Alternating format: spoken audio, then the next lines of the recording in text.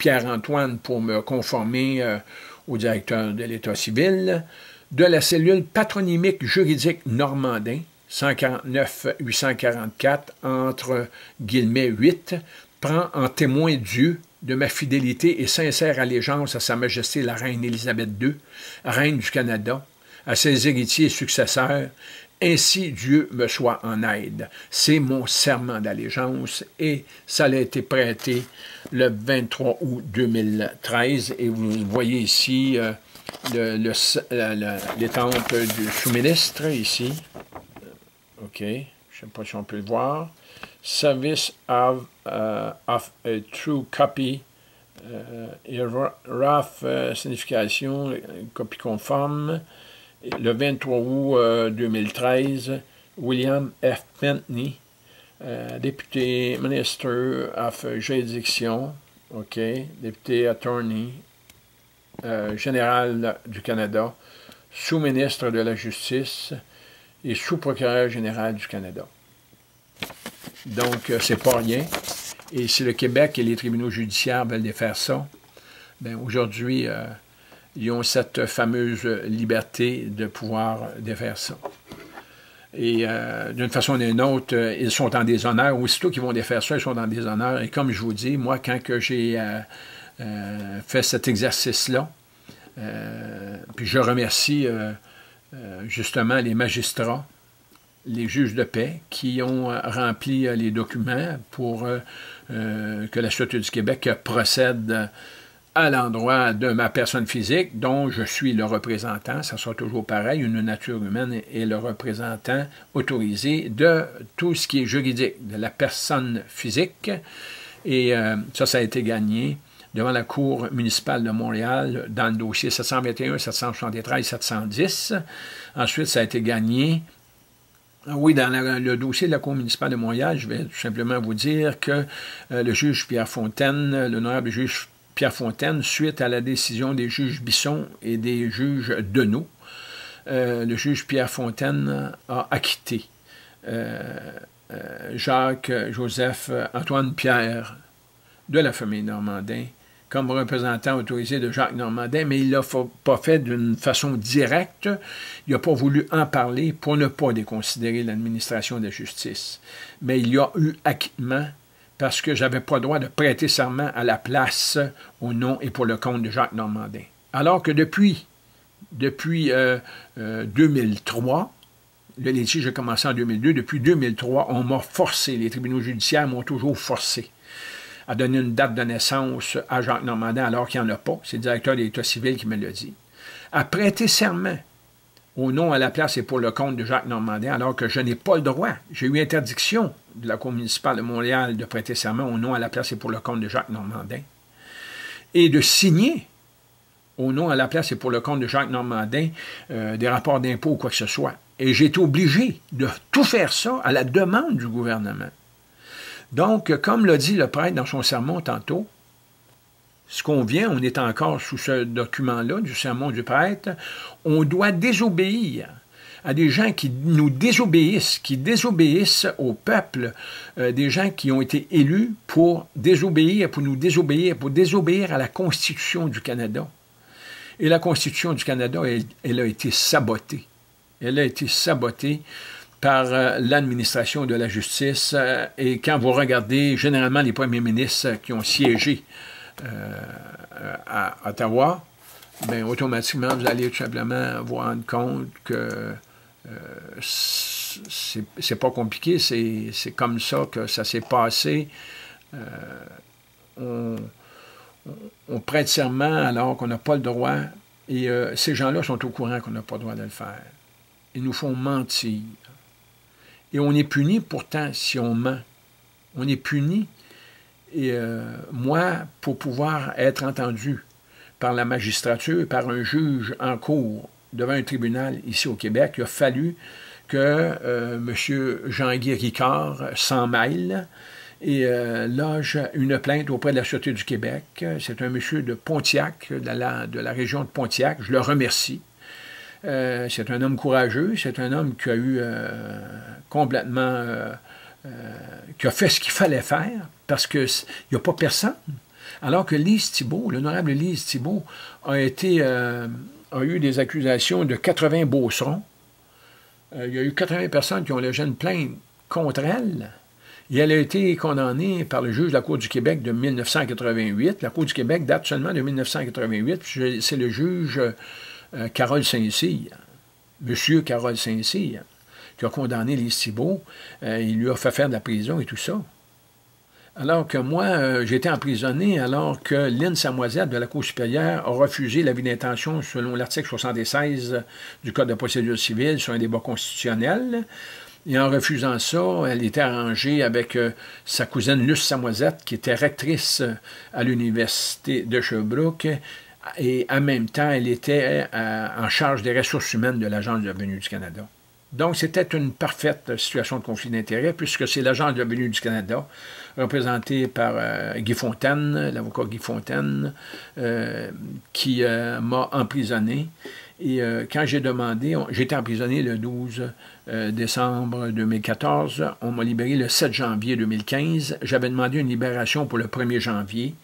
Et euh, quand j'ai rencontré les gens pour euh, cette demande de libération-là, là, ben, c'est certain qu'ils ont dit, bon, ben, vous êtes en réhabilitation. Ils m'ont fait leur fameuse recommandation telle que c'est supposé.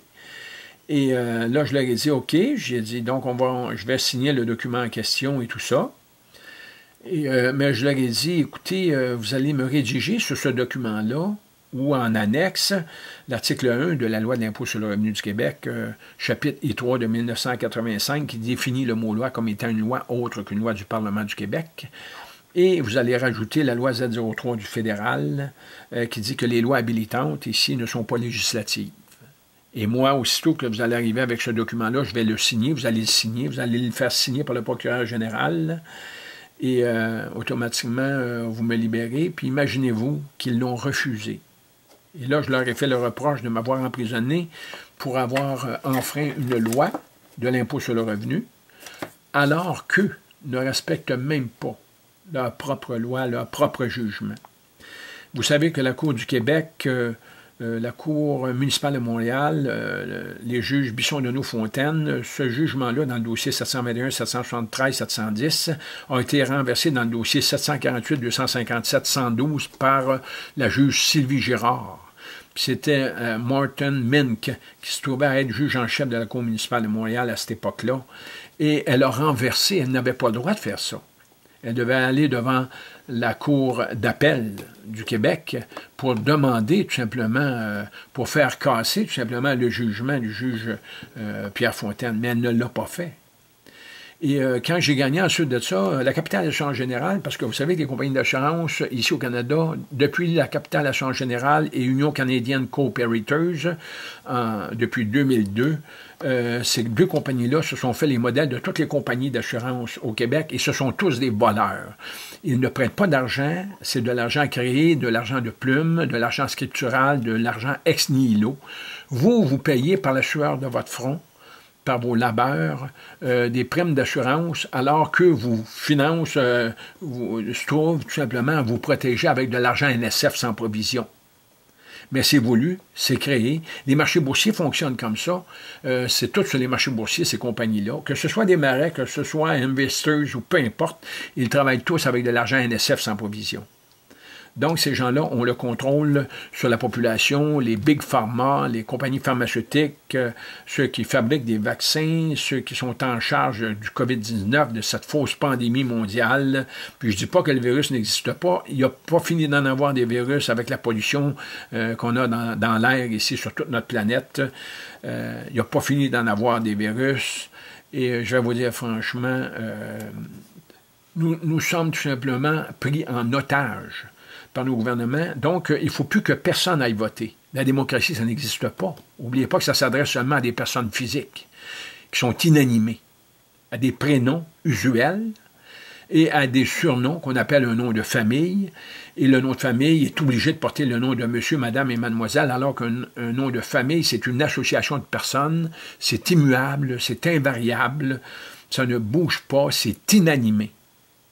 Et c'est la propriété du gouvernement. C'est pour ça que euh, la Commission de la construction du Québec euh, ne veut pas euh, payer à ma personnalité juridique, Jacques Normandin, son fonds de pension.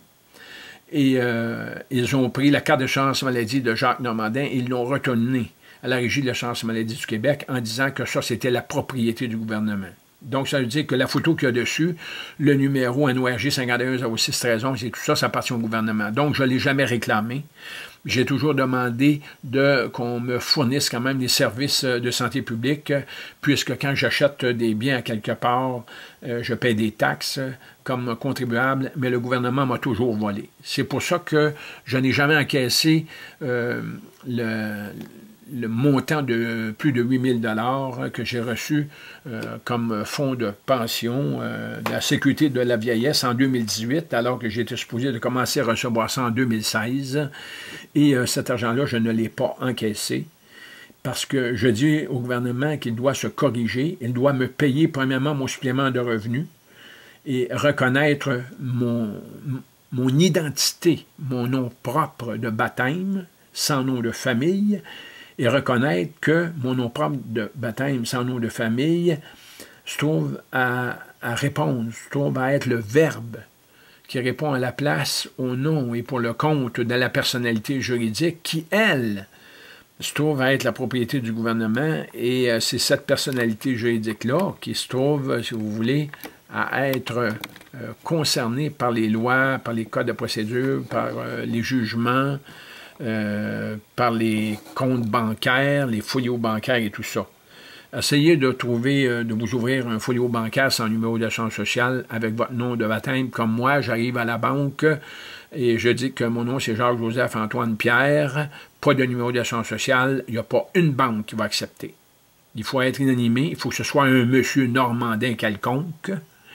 Et euh, le monsieur normandin, vous savez que monsieur, c'est masculin, normandin, c'est un groupe de personnes, et un groupe de personnes, c'est ni masculin ni féminin, donc le monsieur en question qui est masculin n'a pas de sexe. Il est masculin, oui, mais il n'a pas de sexe. C'est la même chose pour madame ou mademoiselle normandin. Ça n'a pas de sexe. Vous comprenez? Ça ne prend pas un génie pour comprendre ça. Là. Donc là-dessus, on se laisse. Euh, je vais retourner quand même euh, un petit peu. Et euh, à bientôt. À la prochaine. Il est exactement 11h54 le 6 janvier 2021. Merci.